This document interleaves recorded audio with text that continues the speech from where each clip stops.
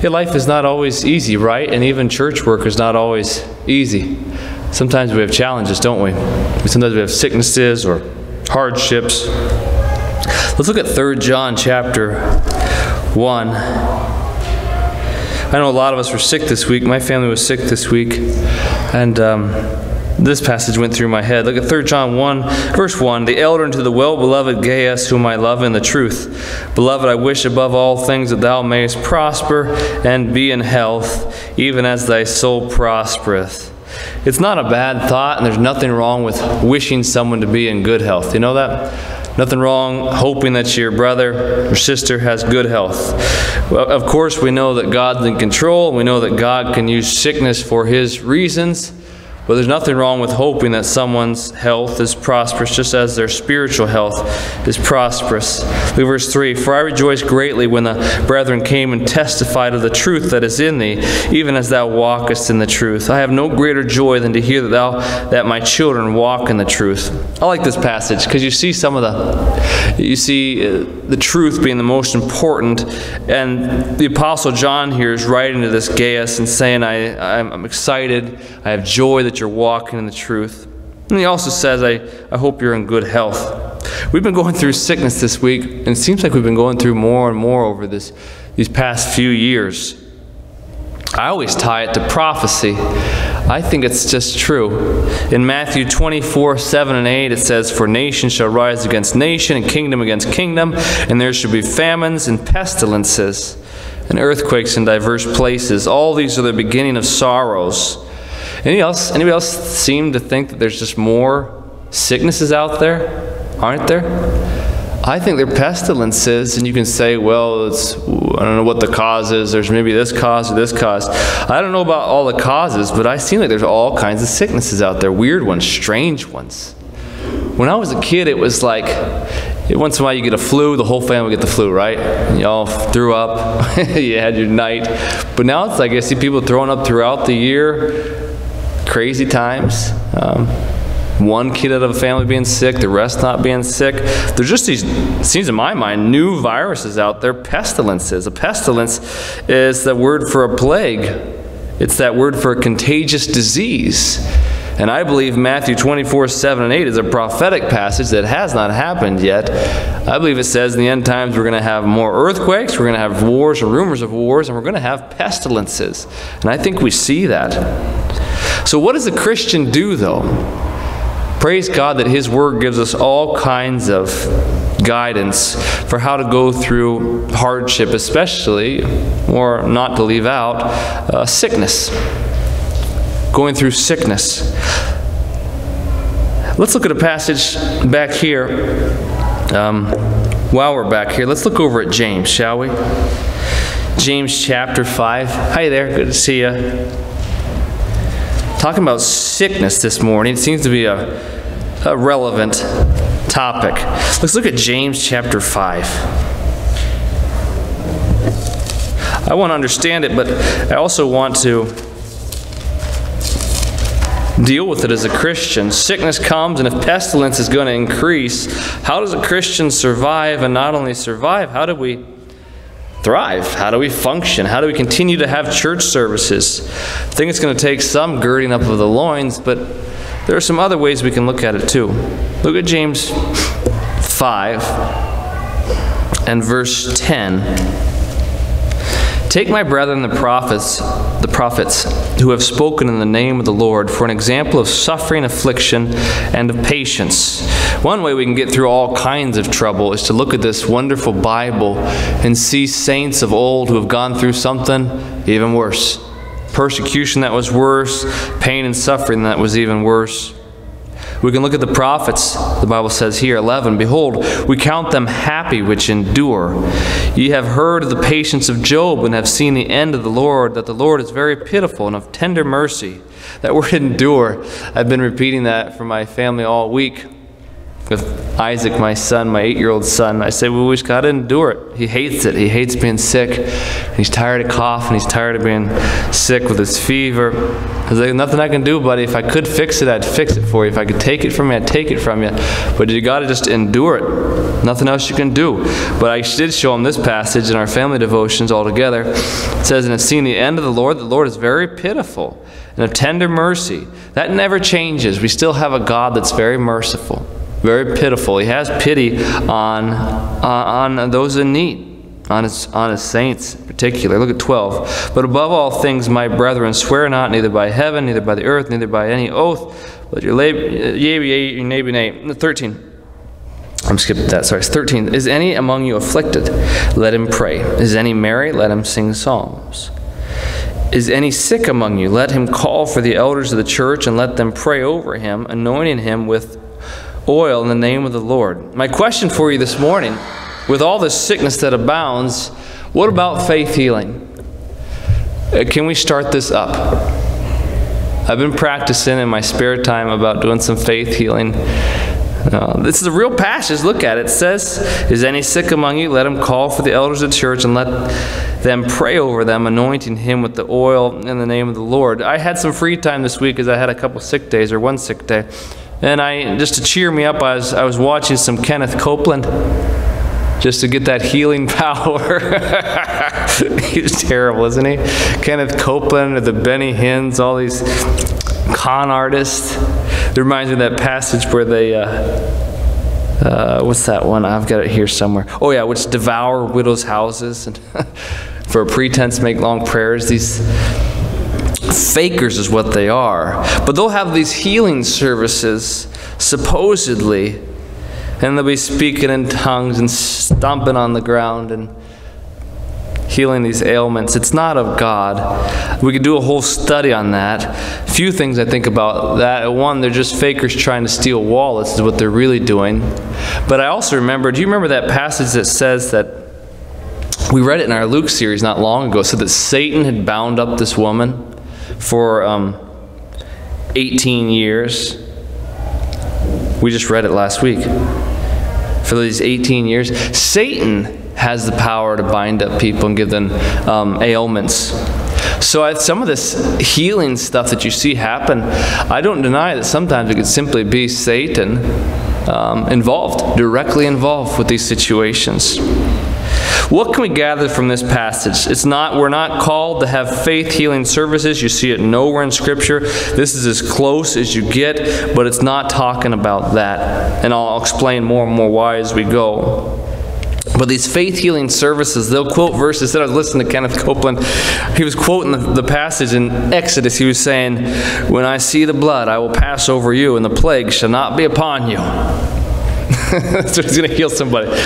It just has nothing to do with that Passover story. It's not about healing someone's body. And then they were, they were quoting um, 1 Peter. Let me, I, you can stay, oh, it's right next to this. First Peter, look at First Peter 2.24. Look at First Peter 2.24. Look at this one, would you?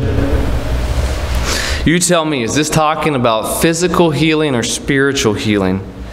1 Peter 2:24, who his own self bare our sins in his own body on the tree, that we, being dead to sins, should live under righteousness, by whose stripes ye were healed. Of course, the, the, the, con artists, faith healers, they say this passage is about physical healing. Is it talking about that? No, it's talking about a much more important healing, which is spiritual healing the binding up of those wounds, those open sores, the sin sores covering our body. That's what those passages are talking about. But this one in James says that you can call for the elders. But the key here, it's all about prayer. It's all about praying for one another. Look, it says in verse 16, James 5 16. I'm back in James now, 5 16. Confess your faults one to another and pray one for another that you may be healed. The effectual, fervent prayer of a righteous man availeth much. There's power in prayer. When someone's sick, you not only you can wish that someone feels better, but you can pray for them to feel better. And God may hear that prayer, or He will hear, but God may answer that prayer. So, what's, what's one thing we can do as Christians with pestilence around us, sickness around us? We can pray for one another, and we should. Sometimes it's hard when your head is all fevery and you're taking care of kids. Uh, but you should stop and pray. I was trying to get our family to do that specifically last night. Let's just stop and pray. God honors prayer. He, he loves that faith he sees in mankind, calling out in prayer. I think it's important to pray when you're sick because there, there's different kinds of sicknesses. This week, we're as a church, we're seeing something that's you know it's going to be short term, but other times diseases come up. You'll have a disease your whole life until the days you die, and you never want it to consume you and control you, right? But if you're not careful, it can be that. Like when I'm sick this week, all I'm thinking about is the sickness, the sickness, the sickness. Well, if I had anything stretched out over time, I wouldn't want that to define my whole life, would I? So we should practice, even in short term sickness, practice rising above the sickness through the power of prayer, right?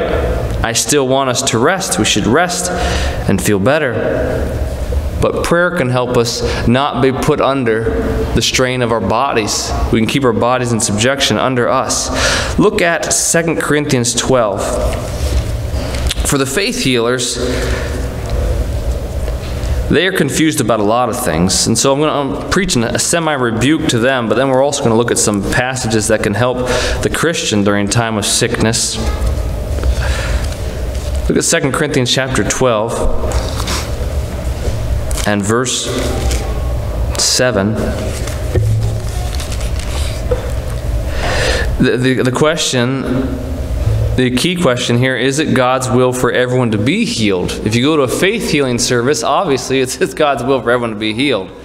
That plague not going to pass over you, a Rosh Hashanah stomp on the ground kind of stuff. But God doesn't deal that way.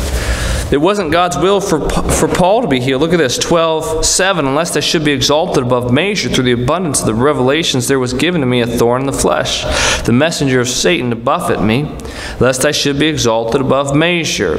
And for this thing I besought the Lord thrice that it might depart from me. There's Paul praying, and he's a man of faith. We know that. But he's not getting healed. Look at verse 9. And he said, and he said unto me, My grace is sufficient for thee, for my strength is made perfect in weakness. He prayed, he prayed, he prayed, and that's the answer God gave back to him. That's the answer God gave back. My grace is sufficient for thee, for my strength is made perfect in weakness. Most gladly, therefore, will I rather glory in my infirmities, that the power of Christ may rest upon me. I think when we're sick, well, the easy point here not everyone is going to get healed. It's not God's will for everyone to be healed of every ailment. Sometimes He uses it for His glory, for His honor, and to keep us weak so that He might be strong through us. But when we're sick, we can see a couple things here. When we're sick, we should try to rise above it and pray, right? Don't forget to pray when we're sick, and try to rise above it and think about the power of Christ. How can Christ use us in our weak state? I don't, I, I, I don't want to seem like um. I know I've preached sermons. I think some of the more powerful sermons God had me preach were times I was sick. I think I remember different sermons. I think I remember, wasn't, weren't Sandra and Pat? Yeah, when that day you guys came to the Lord, I believe I didn't even have a voice that day. Hardly. Yeah, we just got over some big sickness. Think about canceling church. And we had a really good Sunday there in the shop, in our little garage. I think they got saved that day, that night. Yeah. I think God does use us sometimes in our weakest state uh, to do big things. So ask God. Maybe then in your home, with you're in your sickest moment, and the kids are in the sickest moment, maybe there's going to be a breakthrough for your kids spiritually about that time. Who knows? You never know. We don't know how God works and how he might use something difficult for his honor and glory. All we see is, oh, it's difficult, it's no fun, get me out of this thing, get me off the ride. We got to. we got to rise above. I'm not one that's going to say I'm ready to glory in my infirmities, but that's where Paul got to. Glorying in his infirmities. He saw God work in his life. Why do we get sick? Uh, I've mentioned a few things. Sickness can obviously can be judgment. We know this. Uh, let's look at Hebrews real fast. I think I just covered this recently, so sorry for the repeat. But I'm going to lead to a point. Why do we get sick? Why do people get sick? Hebrews 13. I'm going to say the one that offends a lot of people, but it's very true. Look at Hebrews 13, verse 4. Marriage is honorable in all, and the bed undefiled, but whoremongers and adulterers God will judge. Some sickness absolutely comes because of judgment by Almighty God. And this is different than the chastisement of a saint. There is judgment. You see that in this passage in Hebrews 13:4, in Romans 1:27. Remember it talks about the sodomites, men with men working that which is unseemly and receiving in themselves that recompense of their error which was meat. Surely the, the homosexual lifestyle and HIV AIDS that's a consequence, that's a judgment from a sinful lifestyle. It says in Psalm 68 21, But God shall wound the head of his enemies, and the hairy scalp of such an one as goeth on still in his trespasses. There is judgment that comes for choosing sin and continuing down that path of sin. There is. Not just in the life to come, but in this life, you see that. Especially, I think you see that with some of these um, sexual sins. You really see God's judgment for those kinds of abominable sins, whether it be breaking the marriage bed or breaking the, the uh, man and woman relationship. Why else do we get sick? Look at Hebrews chapter 12, verse 6. I'm trying to set us up for a bigger point here, so please bear with me. But why do we get sick? Sometimes it can be judgment. Hebrews 12, 6 says, For the whom the Lord loveth, he chasteneth, and scourgeth every son whom he receiveth. We also get sick. It might not be judgment, but it's this chastisement, it's this testing of the Lord, it's this chastening. You could say, Logan, it's the same thing. I don't think I don't think it's exactly the same thing. When God brings down judgment on that homosexual lifestyle or that, that whoremonger or adulterer lifestyle or any other sin that, where they dwell therein, it's not exactly a corrective action, it's a punitive action. It's like this is the penalty for living in the pig pen. Whereas these Christians, these are, these are believers here in Hebrews, and whom the Lord loveth, he chasteneth. So sometimes we do get sick because God wants to teach us a lesson. He wants us to grow. He wants us to be uh, challenged, be tested in our faith, kind of like that Job situation, right? Job says in Job 23:10, "But he knoweth the way that I take. When he hath tried me, I shall come forth as gold." It's absolutely a thing. Right? Some of these sicknesses and these challenges in life can be for our testing for our discipline, for our growing as our Father would have us grow. Why else do we get sick? It can be judgment, it can be chastisement. It also simply stems from the fact that we're all dying. Look at Romans chapter 5. Romans chapter 5. Say, Logan, that sounds pleasant. Well, it's a fact of life. Look at Romans 5. And I was I was using this sickness this week to tell some of my kids about this. I don't know who it was, Liza or Isaac again.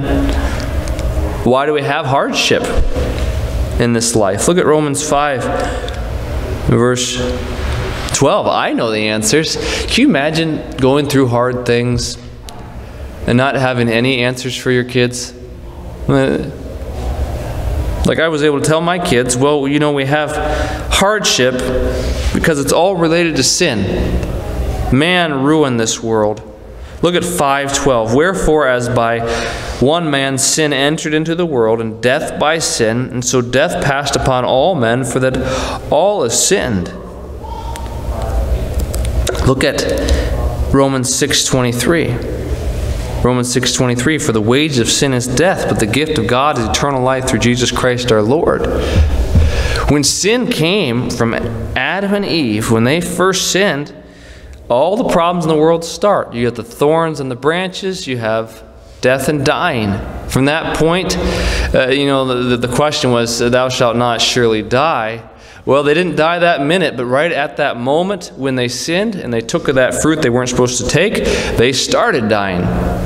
Right? And I'll bet you Adam and Eve, they saw their bodies decay like ours did. They lived a lot longer than us, I'm sure. But I'm sure they started feeling the pains over the years, the same pains that we feel. Now, in our 70, 80 years, if we're lucky, we start feeling some of these pains in our life. Our body's starting to fall apart. It all goes back to sin, this fallen world. We're all dying over time. Look at Romans 8 21. It speaks to this expressly. Look at Romans 8 21. So if you're a biblicist and you have a Bible in your hand, you can explain these things to people that, yeah, sickness can be judgment, it can be chastisement, testing. It's also just a natural part of life that really should point somebody back to the fact that we're all sinners. Right? We're all sinners. And you point them to the Savior. Romans 8:21 says, "Because the creature itself also shall be delivered from the bondage of corruption into the glorious liberty of the children of God. For we know that the whole crea- creation groaneth and travaileth in pain together until now." The whole creation groaneth. I love my son Isaac, and we were up from about 2:30. He never did sleep. He was groaning and coughing from about 2:30 to this morning.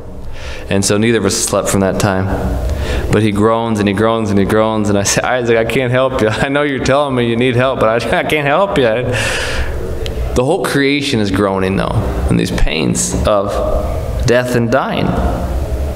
Look at verse 23 and not only they but ourselves also which have the first fruits of the spirit. Even we groan within ourselves waiting for the adoption to wit the redemption of our body. For we are saved by hope but hope that is seen is not hope. For what a man seeth why doth he yet hope for?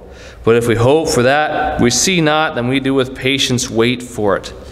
For the christian you have this wonderful thing of hope your life may be terrible. You may get the worst disease on the face of the earth, but you have hope of a brighter day to come, a wonderful day, a new body with God, the heavenly home and presence of Christ, our Savior. We have so much hope as, as Christians. The world, who doesn't believe this Bible, they think they're just sick randomly, doesn't matter about sin sin's not real and the Savior's not real and heaven's not real, that is depressing. That's a hopeless state. It really is. This Bible is hope for the world, but people don't believe it. So people get depressed. People get a, a rough diagnosis, and sometimes it can rock their whole life because the only thing they had was their health. The only thing they had was uh, their finances. And when you take those away, what do they have left? The Christian rock that we stand upon is this Bible. Isn't it, amen? This is how you build strong individuals. Some of these things we're talking about this morning are things that you and I, we know, we've read. But friends, we've heard them, we've read them, they're ingrained in our souls, and that, that's part of the stability you have in your life, right? That we can still trust Christ through thick and thin, through it all. We're going to stand strong. We still have hope to come. And we not only just have hope, God gives uh, His family all kinds of blessings. Look at 826, His saints. Look at 826. Likewise, the Spirit also helpeth our infirmities. Romans 826. For we know not what we should pray for as we ought. But the Spirit itself maketh intercession for us with groanings which cannot be uttered. And he that searcheth the hearts knoweth what is the mind of the Spirit, because he maketh intercession for the saints according to the will of God. Sometimes we don't know what to pray. We don't know how to commune with our God. But we've got this indwelling Holy Spirit that makes intercessory prayers for us.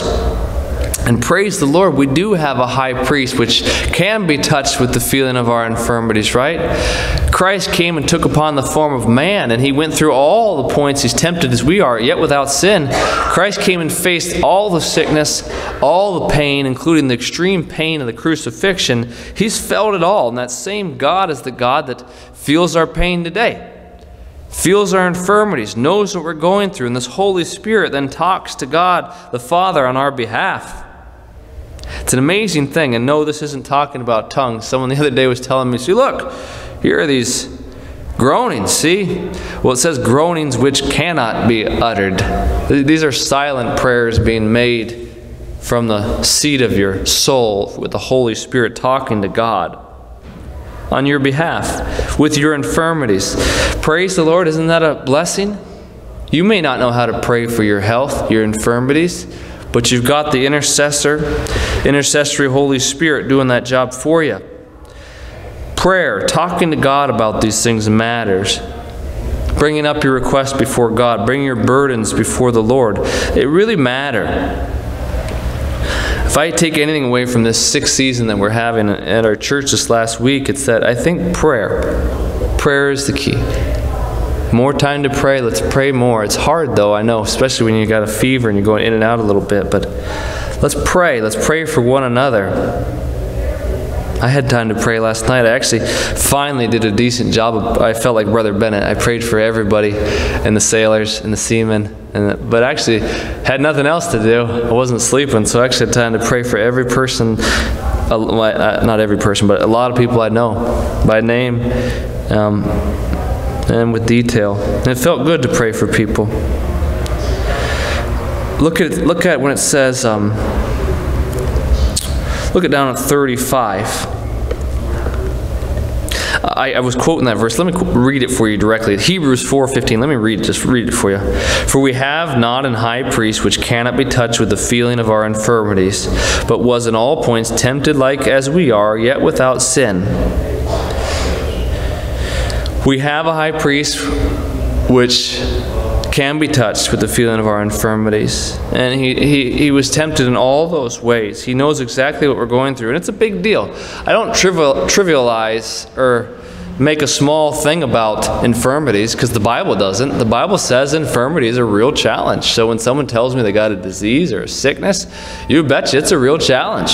It's a real thing, and God knows it's a real challenge for us as feeble creatures to go through ailments. He knows. So we should pray for one another when health comes up.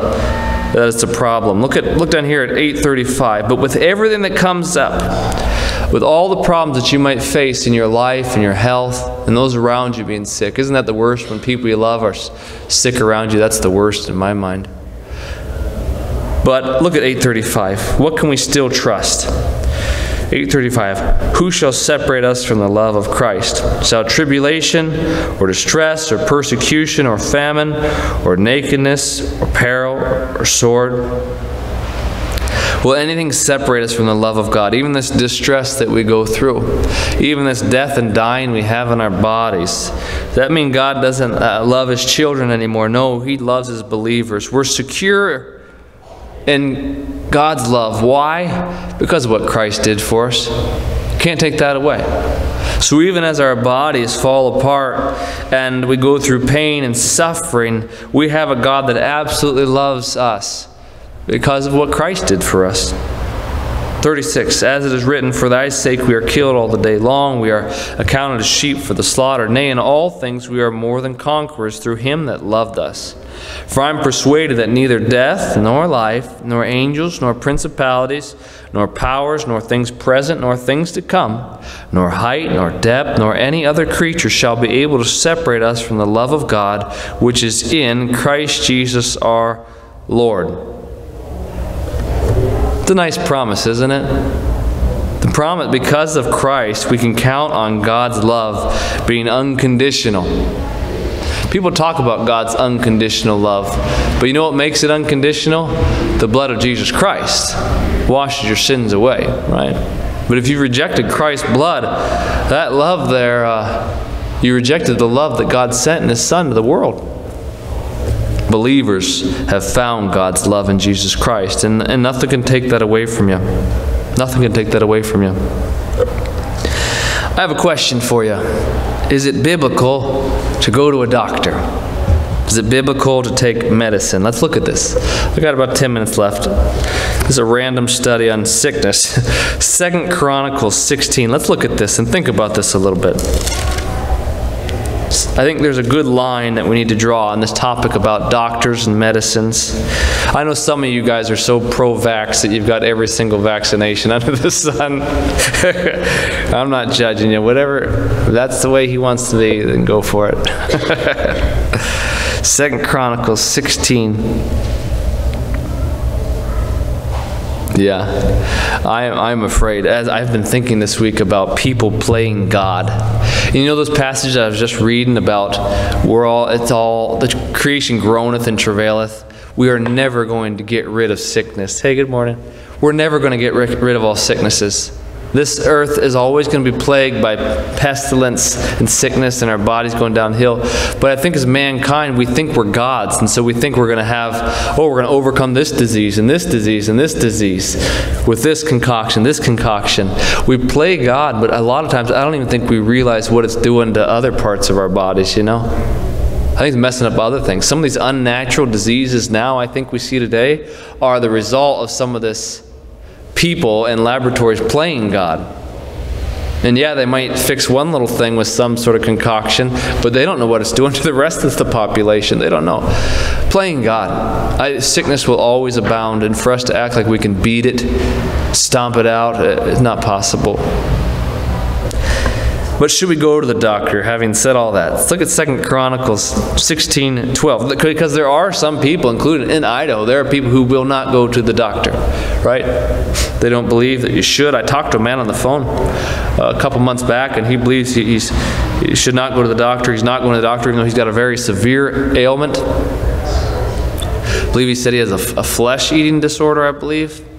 Sound, sounded terrible. But he didn't want to go to the doctor he quoted this passage, and I love this passage. Look, 1612. And Asa, in the thirty and ninth year of his reign, was diseased in his feet, until his disease was exceeding great. Yet in his disease he sought not to the Lord, but to the physicians. And Asa slept with his fathers, and died in the one and fortieth year of his reign. This is that king. But what is it teaching us? He went to the doctors, right?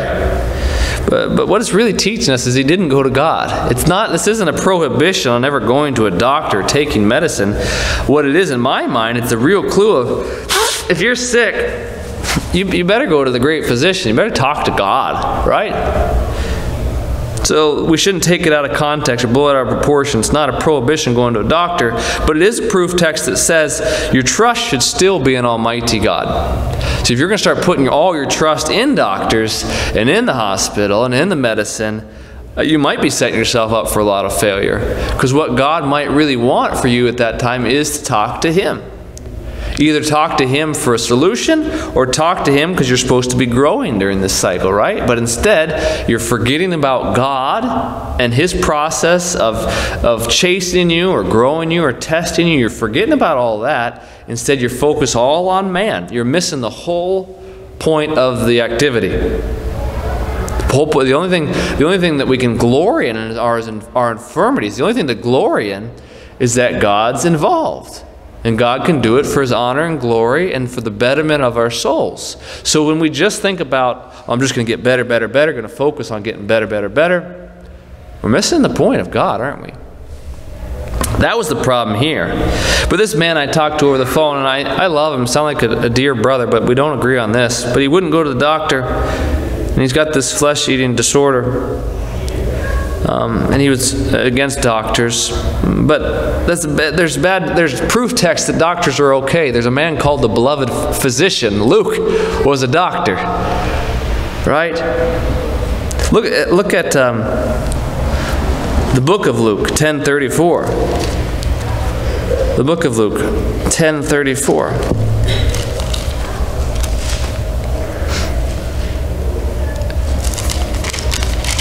Should seek God, but sometimes God can send you a Luke to help you. Look at 1034. Sometimes God can send you a good Samaritan to help you. Look at 10, uh, yeah, Luke 10, verse 34. Let's read verse 33, 1033. But a certain Samaritan, as he journeyed, came where he was, and when he saw him, he had compassion on him and he went, oh, and by the way, that passage in James, I didn't even comment on the on the oil, right? People get into all this healing oil and healing services. I, I simply believe the oil to be talking in a spiritual sense, prayer. You see that throughout the Bible, that oil is a type of prayer. So I point it back to prayer. But here, this Samaritan's going to use some oil too to bind him up. 34, and went to him and bound up his wounds, pouring in oil and wine, and set him on his own beast, and brought him to an inn and took care of him. Well, the Good Samaritan could have just came by and trusted God and said, well, be healed. God's going to heal you. But no, he just did some practical things and he bound him up. He helped him, right? There are some practical things, and God can send some practical things our way to help us in time of need. And sometimes doctors can be that practical thing, and medicine can be that practical thing. Don't lose your trust in God. Don't put all your trust in mankind But still, God can use practical things to do His will. Here you see that with the Good Samaritan healing this man and bringing him on his way. If you believe, like this man I met with the flesh eating disorder, or who I talked to on the phone, what I ended up telling him in a very polite way was that I think you're tempting God. Look at Luke chapter 4 and verse 9. Some of these folks who are looking for faith, healing, they say, well, if you just had enough faith, right? You don't have enough faith, Logan. That's why you're not doing what I'm doing. I have all this faith. And meanwhile, his, his flesh is being eaten, eaten away. The family's all distraught about it. But he was uh, speaking about faith. Well, you don't have the faith that I do. Well, my response was, don't tempt God. You can, I mean, uh, maybe Brother Kent would go stand out in the road right out there in the middle of it and be like, I've got faith. But I would say you're tempting God out there, standing in the middle of the road. That's not where God wants you to be. It's a place of danger. And so when you, you've got these ailments, it might be that God's going to have you go get some medicine for that flesh eating disorder. It might take your kid into the doctor when they've got a really high fever or whatever. You, you never know. That's what it says here in Luke 4 9. It says, and he brought, remember, the devil brings Jesus up. 4 9, he brought him to Jerusalem and set him on a pinnacle of the temple and said unto him, If thou be the Son of God, cast thyself down from hence. Now, doesn't Jesus have enough faith here? Watch what Jesus says, though, 10. For er, he doesn't say here, but this is the devil talking. For it is written, He shall give His angels charge over thee to keep thee. In their hands they shall bear thee up, lest at any time thou dash thy foot against a stone. And Jesus answering said unto him, it is said, Thou shalt not tempt the Lord thy God. Jesus Christ did not have a faith problem. But Jesus Christ also knew and tells us this principle of we should not be tempting God, right? Absolutely. God could have caught him, but it wasn't God's will for him to jump. It wouldn't be God's will to stand in the middle of the road. And so pray about that if you're going to use this idea of I don't have enough faith to not receive the services of a good Samaritan. It might just be pride holding you back instead of prayer. We should not tempt God in our lives. Does that make sense to everybody? Talking about the faith healers, I believe what they're really doing, some of the people who don't believe in hospitals or doctors at all, I really believe they're tempting God. And God says, Well, you know, I sent the Good Samaritan right there down the street from you, and your kid could completely get um, fixed up with that, whatever that flu is or whatever that problem is. You're tempting me.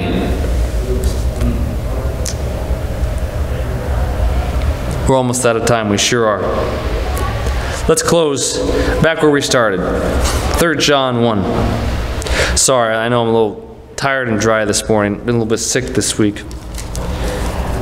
But these are some passages I saw. There are a bunch more good ones, aren't there? I'm sure we could go to all the ones that actually encourage me. I like the ones that um, um, on the rock, God's our fortress, our help in time of need. Read through all the Psalms are good if you just want your soul to be enriched when you're sick.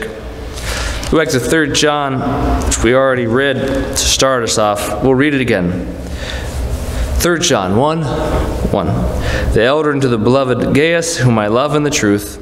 Beloved, I wish above all things that thou mayest prosper and be in health, even as thy soul prospereth. For I rejoiced greatly when the children came and testified of the truth that is in thee, even as thou walkest in the truth. I have no greater joy than to hear that my children walk in the truth. Health problems are always going to be there. We're going to have them in this dying body we have until we drop this robe of flesh and we rise. to Be with our Savior. We're always going to have health problems. So to rise above them, we need things like prayer, right? We need spiritual eyesight to think about God's glory and our testing and who God wants us to become in hardship and trial and sickness. How's He molding and making us, right? The exercise. If we're not if we're not praying and thinking about these things, we're missing the true exercise of what sickness is there for, what we can get out of it. There's no way we're going to glory in our infirmities if we're not even thinking about God. Or praying to God or thinking about His glory. And then in this passage, I'd like to leave you with the thought of yes, your health prospering is, is nice, but your soul prospering is even more important. Someone being spiritually sick is much worse than physically sick. Someone being spiritually alive is important. Someone walking in the truth. This is what's key. Look at 5. Beloved, thou doest faithfully whatsoever thou doest to the brethren, to strangers, which have borne witness of thy charity before the church, whom if thou bring forward on the journey after a godly sort, thou shalt do well, because that for, thy, for his name's sake they went forth, taking nothing to the Gentiles. We therefore ought to receive such that we might be fellow helpers to the truth. Sickness, in many ways, creates opportunity. And that's kind of weird, isn't it? But sickness creates opportunity for us to stop our lives and pray because there's nothing else you can do about that point.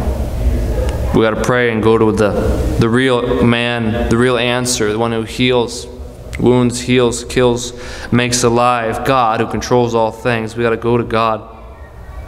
It's an opportunity also to grow and examine our lives. What are we supposed to be learning from this? And sickness also creates an opportunity, I really think, to serve others. Can, right? You find other people in need, and all of a sudden, you've never been given an opportunity to serve before, but all of a sudden, now the church needs you. All of a sudden, now your home needs you in a different way. At our house, when my it was funny, our kids were sick first, and then my wife and I were were the most sick. And it went from us serving them to them serving us. And we quickly found that we served them better than they served us. but they were trying. They were trying.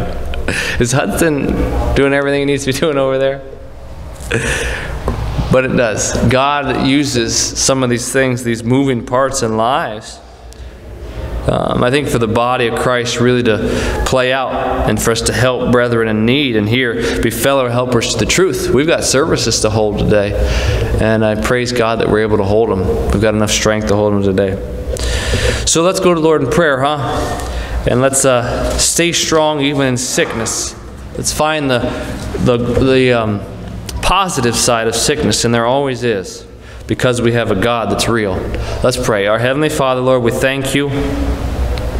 We thank you, Lord, that you understand that we are frail people who, Lord, who are in the process of dying because of sin. But Lord, you understand our frailties, you understand our infirmities because your Son took upon flesh and went through everything that we've ever seen and more. Lord, we thank you for this. We thank you for the healing that came from Christ, the spiritual healing, Lord, that's, that's above any kind of physical healing by far, Lord, how it washed our sins away. And, uh, Lord, closed up our wounds, uh, the sin sores we have throughout our bodies. But Lord, we also thank you that you can be with us in trial, in tribulation. Help us to remember you and you first and foremost whenever we're sick. Help us to grow during these times when we're sick not just to waste the moment. Help us to share faith with our kids and those around us so they might grow as well. In Jesus' name I pray, amen.